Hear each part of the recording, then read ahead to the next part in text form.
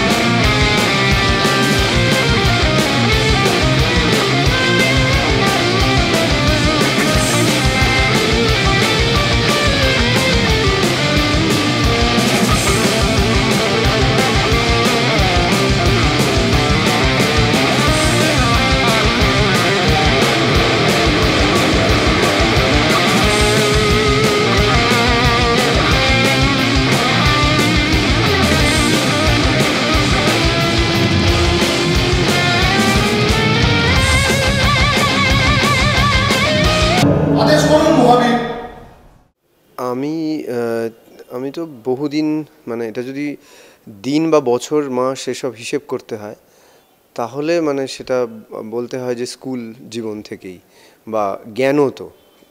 পরিবার যেহেতু থিয়েটারের, পরিবার সূত্রে আমি থিয়েটারের মানে এটা অর্জন করেছি বলার থেকেও মানে এটা খানিক ঢুকে পড়া আর কি। কিন্তু যেটা অর্জন করতে তো হয়, তো মানে সেই অর্জনের জন্য একটা যাত্রা দরকার হয় এবং সেটা খুব সিরিয়াস থিয়েটারের একটা জার্নি।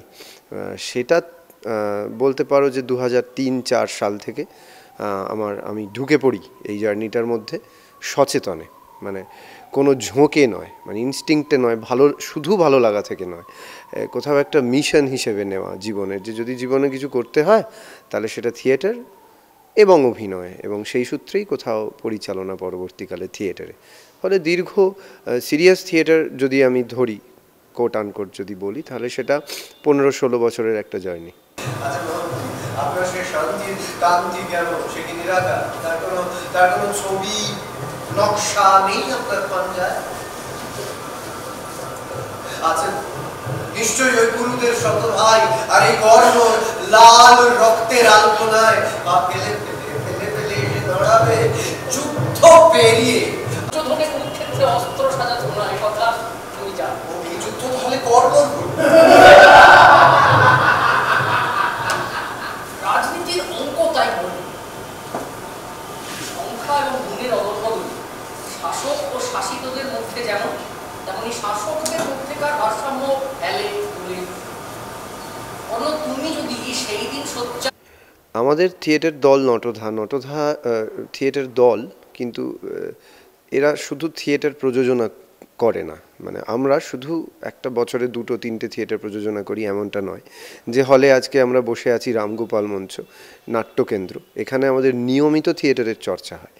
এবং শুধু যে নটধা এখানে থিয়েটার করে তা নয়, হাওড়া, কলকাতা এবং পশ্চিমবঙ্গের বিভিন্ন দল এখানে নিয়মিত উৎকর্ষ থিয়েটার তার কেন্দ্র। এবং এছাড়াও বিভিন্ন ফেস্টিভ্যাল হয় থিয়েটারের আমাদের নিজস্ব একটি নটদা স্কুল অফ পারফর্মিং আর্টস আছে মানে যেখানে আমাদের নিয়মিত একটা থিয়েটারের ট্রেনিং দেওয়া হয়। যারা সর্বক্ষণের থিয়েটারের কর্মী হতে চান, তাদেরকে ট্রেন করা হয়। এছাড়াও ছোটদের মুক্তি নিকায় নাম পাঁচ থেকে সতেরো বছর পর্যন্ত বিভিন্ন বয়সের বাচ্চারা যারা এখানে খেলার মধ্যে দিয়ে থিয়েটারকে নিজেদের মতো করে চেনে, বোঝে পত্রিকা বেরোয় একটা নাট্য মুখপত্র সেটা প্রায় পঁচিশ বছর হয়ে গিয়েছে। তো বিভিন্ন রকম কাজ করি, আমরা দুস্থ, অসুস- অসুস্থ নাট্যকর্মীদের জন্য থিয়েটার ফেস্টিভ্যাল করেছি। এছাড়াও আরও অনেক কাজকর্ম নটধা করে, স্কুলে গিয়ে থিয়েটার করে। এবং এই মুহূর্তে নটধার রবীন্দ্রনাথের গোড়া শিব মুখোপাধ্যায় নির্দেশনায়, আমার নির্দেশনায় অথই মহাভারত, সে মায়াকানন এই এই কতগুলি প্রযোজনা যেটা আমরা নিয়মিত অভিনয় করছি। এছাড়াও আমাদের স্বল্প দৈর্ঘ্যের বেশ কিছু নাটক আছে যেটা আমরা এই শনিবার আমরা করছি, কর্ণ এখন এবং মনোলগস, ছজন সাতজনের মনোলগস, সেটা রবিবার করছি, ফলে এই রামগোপাল মঞ্চে। ফলে এইখানে আমরা নিয়মিত থিয়েটার প্র্যাকসিস যেটা বলে, চর্যা, সেটা চালিয়ে যাচ্ছি। পাশাপাশি দেশের বিভিন্ন প্রান্তে, রাজ্যের এবং মূল কেন্দ্র যদি আমরা বলি, যদিও মূল কেন্দ্র বলা উচিত নয়, কলকাতা শহর। সেই কলকাতা শহরেও নিয়মিত থিয়েটার চর্চা নটধা করছে এবং নটধার লক্ষ্য কোথাও থিয়েটারকে আরও বেশি সংখ্যক যুবদের কাছে পৌঁছে নিয়ে যাওয়া, পৌঁছনো, থিয়েটারের দর্শক সংখ্যা, পকেট অডিয়েন্স বাড়ানো এবং উৎকর্ষ থিয়েটারের খোঁজ এইটা বলা যেতে পারে বিনাস্ত্রী শান্তির জন্য ধর্মযুদ্ধে লড়ে জানো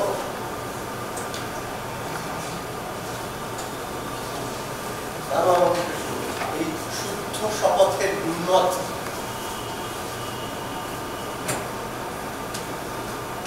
কর্ণ আকাশেরও গান আছে সে নিঃশ্বাসের মধ্যে থেকেও শোনে সব সব হাওয়ায় ছড়িয়ে যায়।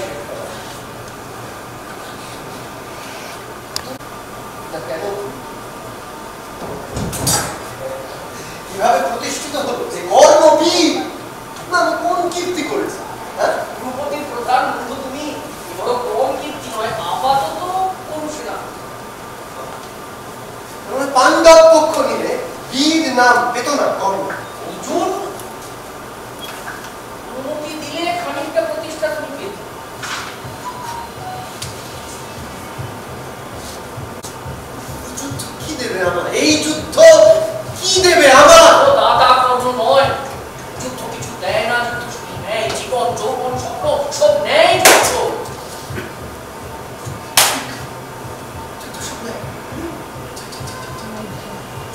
হ্যাঁ এই এই থিয়েটারটার সঙ্গে আমার একটা খুব ভয়ঙ্কর স্মৃতি জড়িয়ে আছে মানে।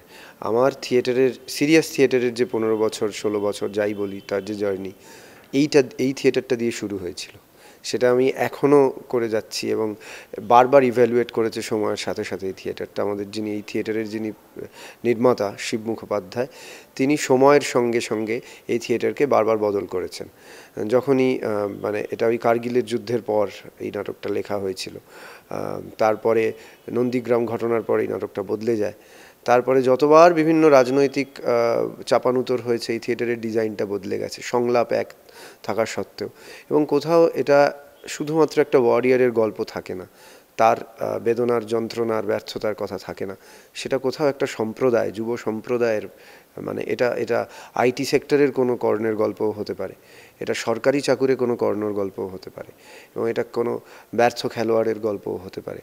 কোনো সেলিব্রিটি অ্যাক্টারের কথাও হতে পারে। মানে এটা শুধু যুদ্ধের জায়গায় সীমাবদ্ধ নেই। এটা একটা যুব সম্প্রদায়ের কথা বা মানুষের যন্ত্রণার, বেদনার কথা। সেইটা কোথাও, এই এই এই চরিত্রটা করতে গিয়ে আমি সেইটা অনুভব করেছি প্রতিদিন। সেটাই বারবার বারবার বদ- বদলে বদলে এক একভাবে অভিনেতারা তো তাই করেন যে বিভিন্ন চরিত্র নিজের জীবনের সঙ্গে, নিজের দেখা জীবনের সঙ্গে কানেক্ট করে রিকানেক্ট করে। তো সেইটা কোথাও আমার এই চরিত্রের সঙ্গে প্রতিদিন, প্রতিবার নতুন, নতুনভাবে হয়েছে। সেই জন্য পনেরো, ষোলো বছর পরেও এই থিয়েটারটা ডেডলি হয়ে যায়নি, মৃতপ্রায় হয়ে যায়নি। পাবে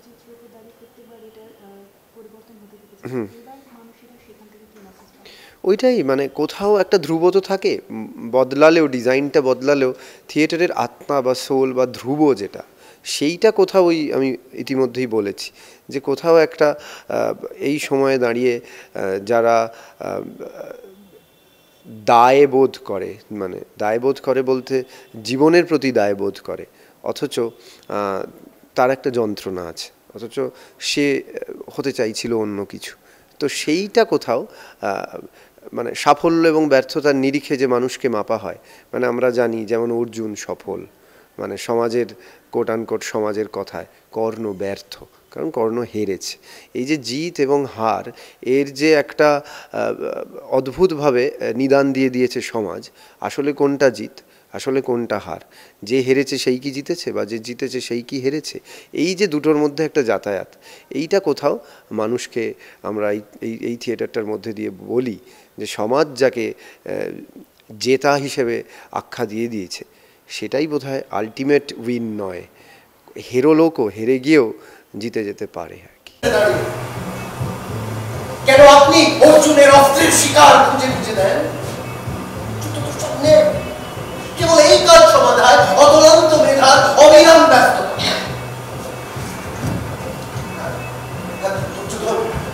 নিশ্চয়ই আপনার সেই কোনো একটা অমানবিক অন্ধতায় আক্রান্ত, অজানা বিকারগ্রস্ত তো ভগবতী কৃষ্ণ আপনি তো ধীমান মানব কল্যাণের প্রকাশ্য প্রচারক। আপনার অবস্থান সন্দেহের ঊর্ধ্বে কি সন্দেহ আমার জানি না আমি জানি না যে আমাকে কোন চোখে দেখে সত্য প্রতিষ্ঠা হবে। মানুষের ভালো হবে এবং মানুষের মঙ্গল হবে। পাণ্ডবের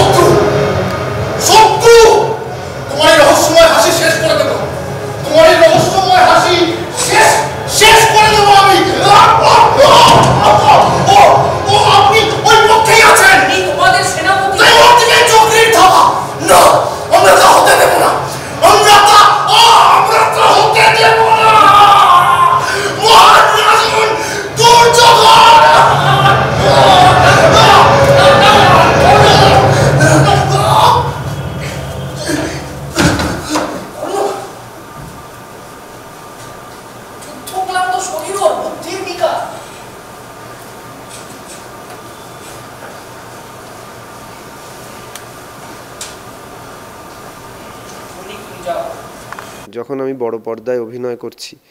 তখন যে পদ্ধতিতে শুটিং হয় আর যে পদ্ধতিতে থিয়েটার তৈরি হয়, দুটো সম্পূর্ণ আলাদা।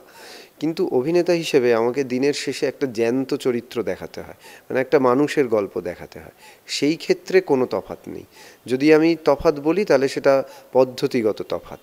মানে থিয়েটারেও আমরা একটু একটু একটু একটু করে চরিত্রটা নির্মাণ করি। শুটিংয়েও হয়তো আজ এক দুটো সিন হলো, কাল দুটো সিন হলো, এইভাবে তৈরি করি।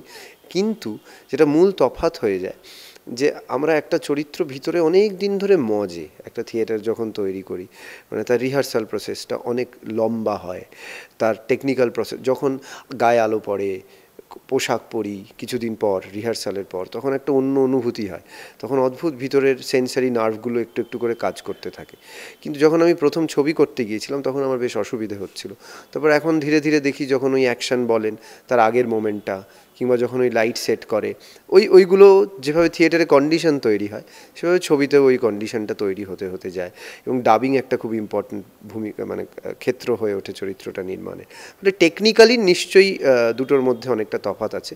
কিন্তু এই ফিল্ম অ্যাক্টিং এইটা থিয়েটার অ্যাক্টিং এইরকম থিয়েটার অ্যাক্টিং একটু বেশি ফিল্ম অ্যাক্টিং একটু কম এই রকমভাবে ওই ব্যাকরণ যেভাবে দাগিয়ে দেয় কিছু বিশেষজ্ঞ আমি সেটা মানি না, আমি সেটা বিশ্বাস করি না। আমার কাছে অভিনয় মানেই হলো একটি জ্যান্ত মানুষের গল্প বলা। এবার টেকনিক সেইটা তো আয়ত্ত করতে হয়। সেটা সম্পূর্ণ লুকিয়ে ফেলতেও জানতে হয়। ফলে টেকনিক নিয়ে আমি খুব একটা ভাবিত নয় আমার কাছে অভিনয় মানে হলো আমার কথা বলা, এইটা।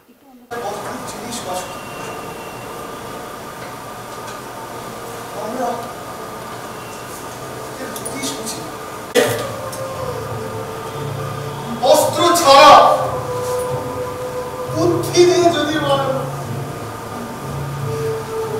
잘못하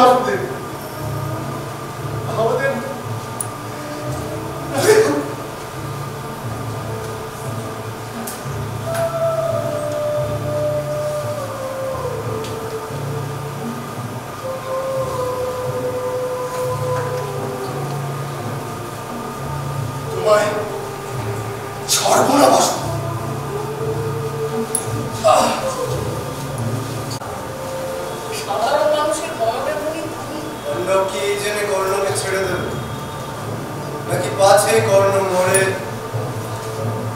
তাই দুর্যোধন যুদ্ধ থামিয়ে মেনে নেবে হার যুদ্ধের গতি প্রকৃতি আশ্চর্য নিষ্ঠুর তুমি।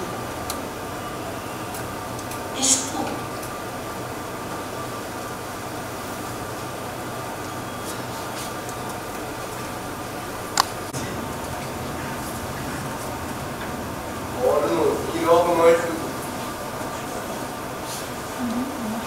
সৌরভের সমর্থক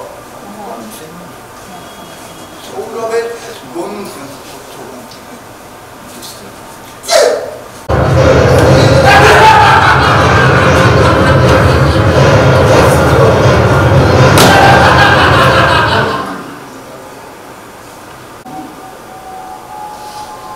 আমারে তল্লাট জুড়েই তো অন্ধকার একমাত্র কর্ণ হচ্ছে আলো দেখা না।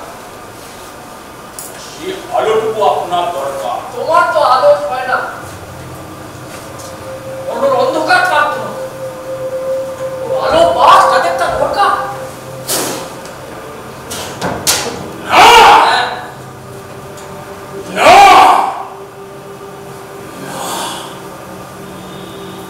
করোনার সমস্ত কিছু আমার। কাল ভোর ফের যুদ্ধ সেনাপতির মনোযোগে বিঘ্ন চাই না। আমি চাই আমি চাই যে ওর মন কাল যুদ্ধ বিমুখ হয়ে যাক কর্ণ কাল বলে উঠুক আমি যুদ্ধে যাব না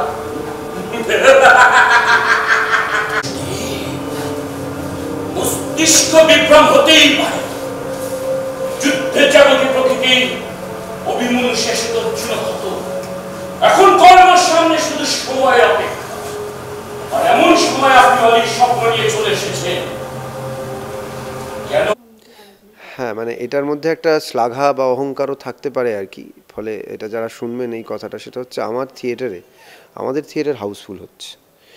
কিন্তু দুঃখের বিষয়, আমার সিনেমা হাউসফুল হচ্ছে না বলব না, কারণ ডিকশনারি আমি সেটাই অভিনয় করেছি। সেটা বেশ কিছুদিন হাউসফুল হয়েছে, শনি রবিবার নন্দনে। আমার হীরালাল মুক্তি পাচ্ছে পরশু দিন এটা ঠিক যে এটা স্বীকার করতে দ্বিধা নেই।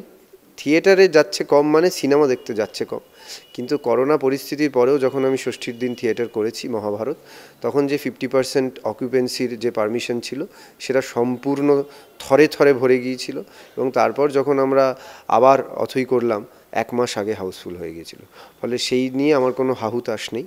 তবু বলব মানুষ ছবি দেখতে কম যাচ্ছেন শপিং মলে খেতে বেশি যাচ্ছেন। সেইটা তো আমি আগেও বলছিলাম, তোমাদেরই বোধহয় বলছিলাম এর আগে, যে এটা একটা আত্মবিস্মৃত জাতি তো মানে মানে গৌরব করার মতো কিছুই নেই। বারবার নিজেরাই নিজেদের ভুলে যাই, নিজেদের কাজ গর্ব করার মতো যে ফিল্ম ইন্ডাস্ট্রি ইম্পর্ট্যান্ট কাজ ইম্পর্ট্যান্ট মানুষ, সেইগুলোকে পুষ্টি দেয় না। সভ্য জাতি টিকে থাকে তার শিল্পের মধ্যে দিয়ে। সেইটা কোথাও আমরা যে ক্রম, ক্রমে দিন দিন অসভ্য হচ্ছি সেটা, এটা প্রমাণ রাখে যে আমার জাতটা অসভ্য হচ্ছে। তার কারণ শিল্পের সঙ্গে যোগ কমছে মানুষের। ফলে এটা দুঃখ করে কিছু লাভ নেই, এটা খানিক রাগ হয় এখন। তবুও বলার, অনুরোধ করার যে মানুষ একটু থিয়েটার হলে এবং ফিল্ম দেখতে আসুন এবং বিচ্ছিন্ন ঘটনা হয়তো, যে আমি আমার দুটো থিয়েটারের কথা বললাম, এটা বিচ্ছিন্ন ঘটনা। আরও প্রচুর থিয়েটার এখানে হচ্ছে, আমারই হয়তো অন্য একটা থিয়েটার কম লোক হয়। তো মানুষ আসুক। বাসুদেব এই যদি হয় শেষ উপায় আত্মরক্ষার তবে আপনি না এসে? তার তার নরম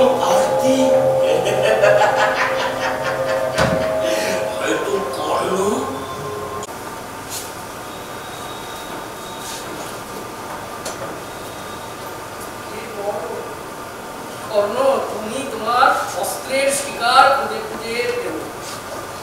আমার মৃত্যুর আগে কোনো বিশ্রাম। নেই আচ্ছা দুর্যোধন মৃত্যু কেন? তাকে ছুঁয়ে দেখা যায় অর্জুনের শব্দেও ছুঁড়ে মুছে দিতে পারো। মৃত্যু আর জয় বেশ্যা আমার বলে পাণ্ডব পক্ষের জয়।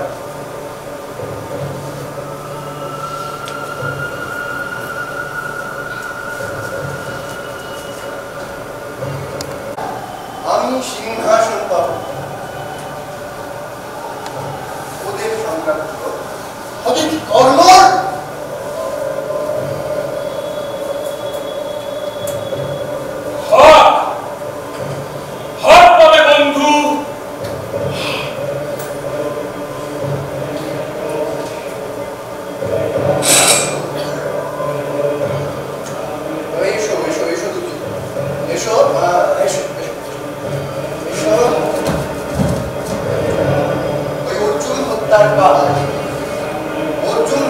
কাজ আমরা আমরা ভাগাভাগি করে নিব দুর্যোধন যুবরাজ তার কাজ আমরা আমরা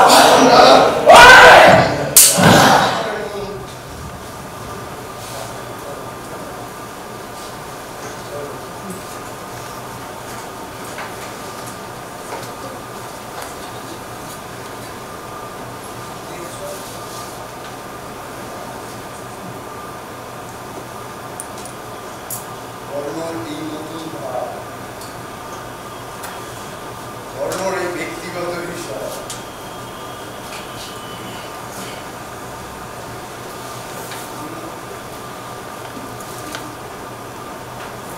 বড়-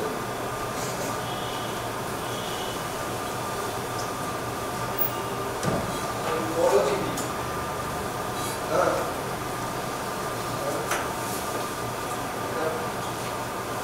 বড় জিনিস ব্যক্তিগত কিছু থাকতে পারে না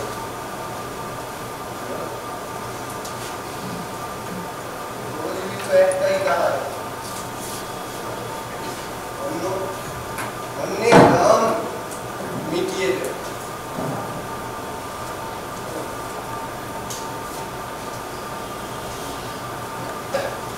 আমি জানি আমি জানি এই দু চোখে কৃষ্ণের জাদু তোমাকে ভ্রান্তিতে দেখেছে নটধার একটা ধরন আছে যে আমরা যে কোনো নাটক যেটা মনে হয় আমাদের ভালো এবং দর্শকেরও একটা পোর্শনের মনে হয় বেশ ভালো, সেইটা আমরা সময়ের সঙ্গে সঙ্গে বদলাতে বদলাতে যাই। যেমন আমরা করেছিলাম রক্তকরবী, বারবার বদলেছিলাম। ছোট নাটকের মধ্যে এই নাটকটা আমরা বোধহয় বার পাঁচে বদলেছি।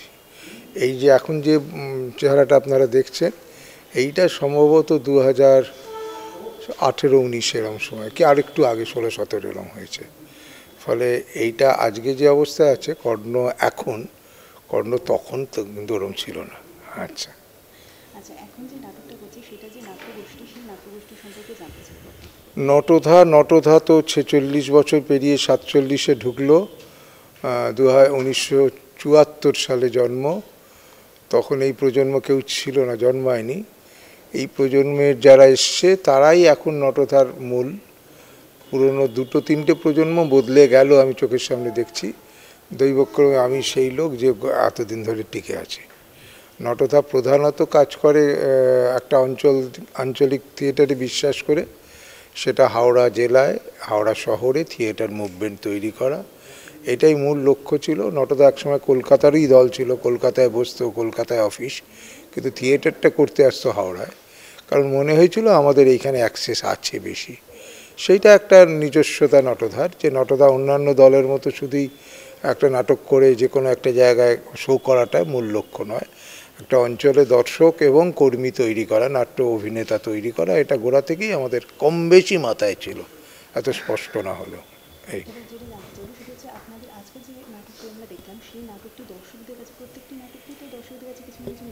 হ্যাঁ। এই নাটকের মাধ্যমে কি দর্শকরা message এইটা এই মুহূর্তে বলতে পারি যে এটা যুবকদের একটা বিষণ্ণতা, যুবকদের হ্যামলেটীয় যে দ্বিধা to be or not to be সেইটা কোথাও আছে। সে নানান যুদ্ধ আছে, জীবনের ব্যক্তিগত যুদ্ধও যেমন, সেইখানে তাকে বাধ্য হয়ে কাজ করতে হয়।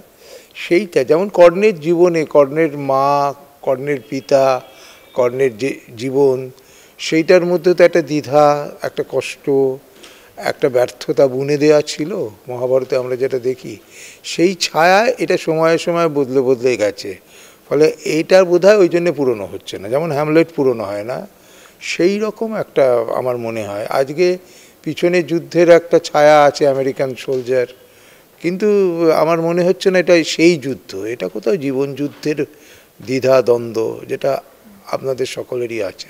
সেই জন্য বোধহয় এটা বেঁচে বেঁচে চলছে আর কি। এটাই আমার মনে হয়। Thank you.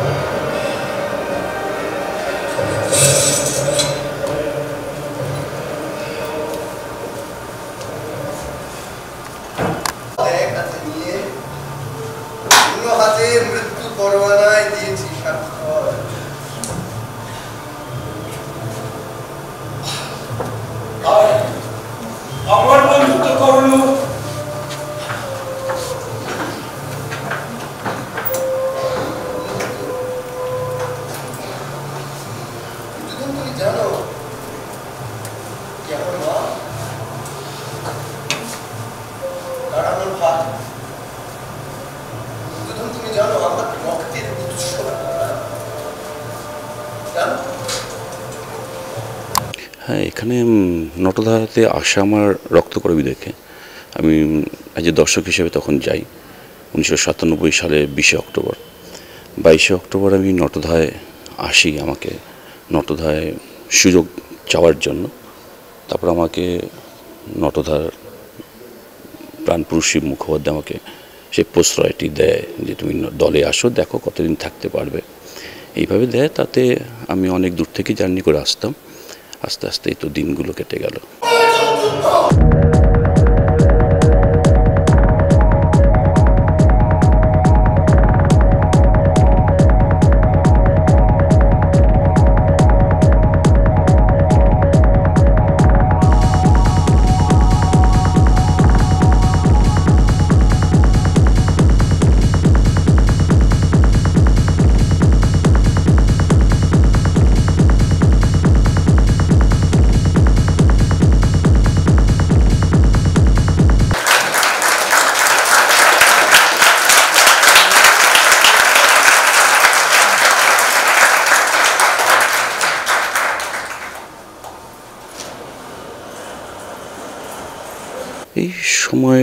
পরিপ্রেক্ষিতে যেভাবেই চরিত্রকে তুলে ধরা হয়েছে এবং আমাদের ডিরেক্টর বা লেখক যেভাবে চরিত্রটাকে চেয়েছেন, সেটা করার চেষ্টা করেছি, তুলে ধরার চেষ্টা করেছি।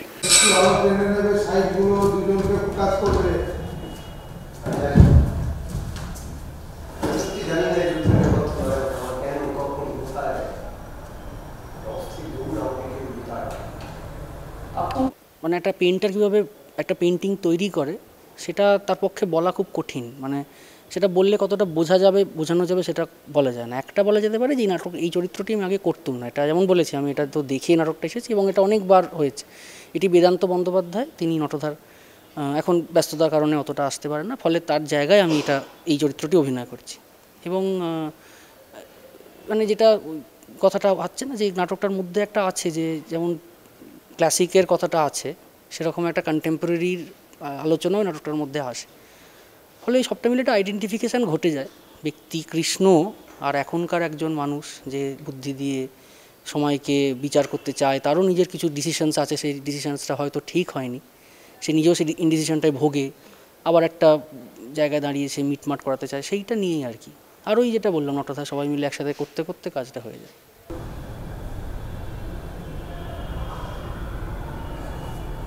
আমি নিরপেক্ষ আমি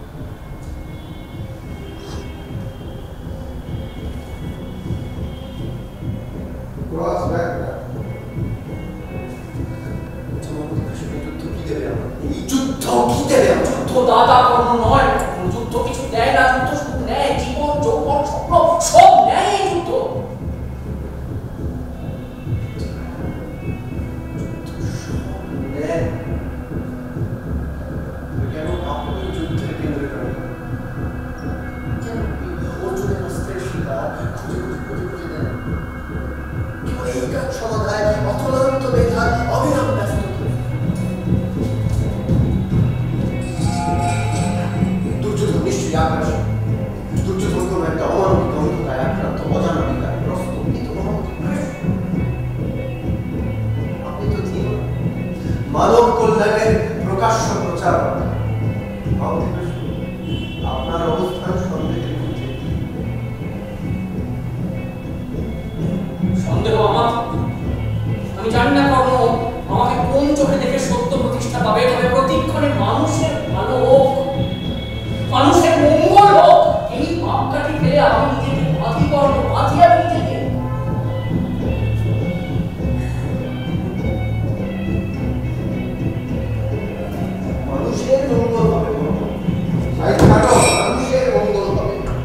পাণ্ডবের হাতে নিধন হবে হাজার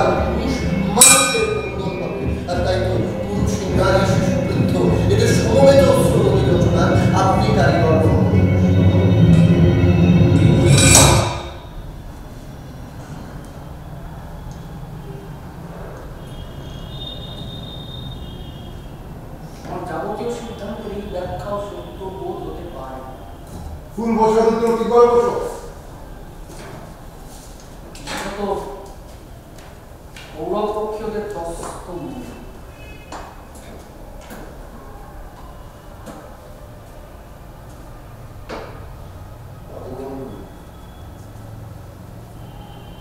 রক্তের দাগে কার স্মৃতি কৃষ্ণ বহন করছেন অর্জুনের প্রিয় প্রয়াত পুত্র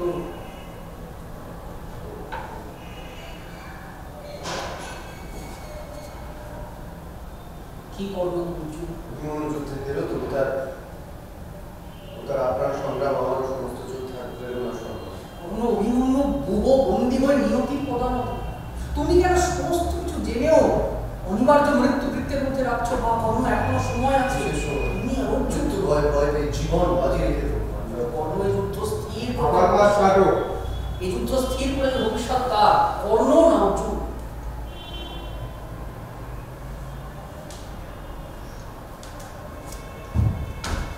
কর্ণ দেখো কর্ণ এই যে যুদ্ধ এর বাইরেও তো জীবনের নিজস্ব কাহিনী থাকে তোমারও আছে তুমি কখনো নিজেকে ভালোবাসো?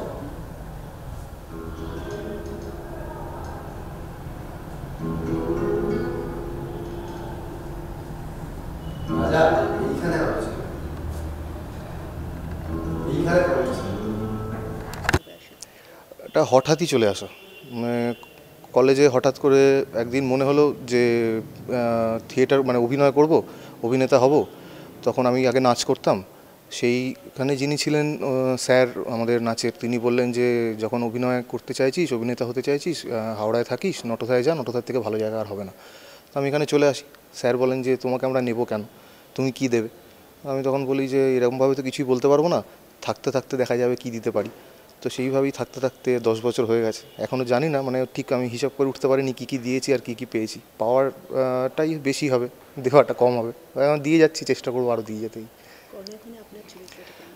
এই আমি এখানে পুরোচন বলে একটি চরিত্রে অভিনয় করছি- যে সৈনিক। কিন্তু আবার সে এই সৈনিক হওয়াটা নিজে বেছে নেয়নি। যুদ্ধ যখন লাগে তখন ওই বাড়ি থেকে লোকজন তুলে নিয়ে চলে আসে না, যে তোমাকে যুদ্ধ করতে হবে রাষ্ট্রের চাপে, সেরকমই একজনকে হয়তো নিয়ে চলে এসেছে। যেমন এই নাটকের সংলাপ আছে, যে প্রাক্তন কৃষক, বর্তমান সৈনিক। এ আসলে কৃষক ছিল, সৈনিক হয়েছে। চলে এসেছে। কিন্তু যুদ্ধের মধ্যে এসে প্রতিদিন দেখতে পাচ্ছে যে যে কোনো মুহূর্তে আমি মারা যেতে পারি। তখন যেমন একটা সাধারণ লোকের ভয় হয়, সেই ভয়টা প্রতিদিন এর মুহূর্তে চলছে। আমি মারা যাব। আমি আমার পিতা, আমার মাতা, আমার স্ত্রী, আমার পুত্র কাউকে দেখতে পাবো না। কিন্তু আমি তাদের সাথে বাঁচতে চাই। আমি কোনো বড় কিছু হতে চাই না। আমি সাধারণ মধ্যবিত্ত একটা মানুষ বা সাধারণ একটা নিম্নবিত্ত বা গরিব একটা কৃষক। আমি বাড়ি ফিরতে চাই।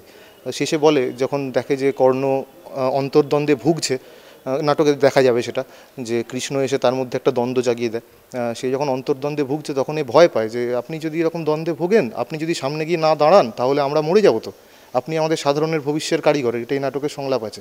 সেরকমই একটা চরিত্র বেসিক্যালি আমরা যেমন দেখি না আমাদের নেতাদের, আমরা নেতাদের উপর ভরসা করি যে আপনারা আমাদের বাঁচান, না হলে আমরা কীভাবে বাঁচবো? আমাদের খেতে দিন, প্রতিদিন গ্যাসের দাম বাড়িয়ে দিচ্ছেন। সেরকম একটা ব্যাপার। যে আপনি আপনি কালকে গিয়ে দাঁড়ান সামনে, আমাদের যুদ্ধে জয়লাভ করান, না হলে তো আমরা মরে যাব আপনি না দাঁড়ালে। তো এটাই চরিত্র।